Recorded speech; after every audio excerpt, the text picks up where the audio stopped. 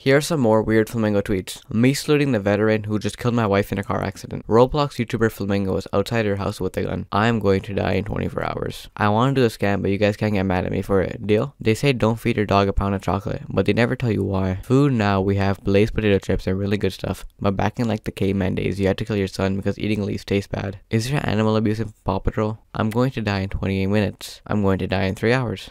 What is a cousin you ever think about? The baby will no longer be performing at the Roblox Music Festival.